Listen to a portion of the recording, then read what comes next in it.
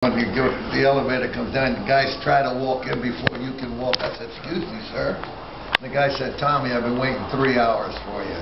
I said, well, how are you? He said, you know, Tommy, says, we think you're great. I said, well, thank you, that's very nice. I start walking, The guy's following me. He said, Tommy, you know, every time we watch you on television, he said, man, me and my family, we love you. And I stopped and I said, well, why do you love me? He said, because every time I, we look at you, you look exactly like my father. I said, really? I said, uh, how old are you? He said, 67. and I said, how old is your father? He said, 89. You say I look exactly like your father? So I got on the bus and I got to thinking about Jesus Christ.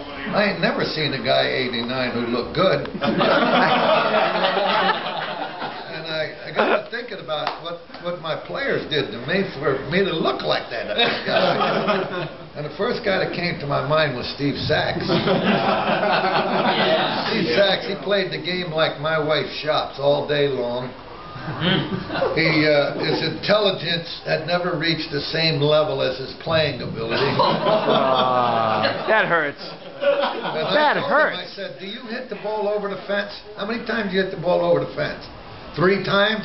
Then why hit the ball in the air? If you can't hit it over the fence, hit line drives. Start from left field and go right on over. You And tell that to Juan Pierre? drives. I kept, harp, kept harping on him. He finally came to me. He said, Skip, I got this hitting theory down pat now. I said, good, son, what is it? He said, now, 80% of the time I try to hit the ball through the middle. I said, beautiful. He said, 20% I try to go to left, and the other 20% I try to go to right.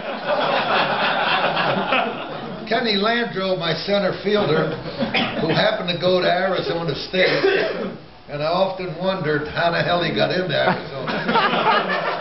What were the requirements, Kenny? What'd they do, check you to see if you're breathing? He, he was dumber than Saxy. So I said to him, I said, did you hear what he just said? He said, yeah. He said, you want to know, Skip? He said, I've been in the big leagues 12 years. That's the best hitting theory I've ever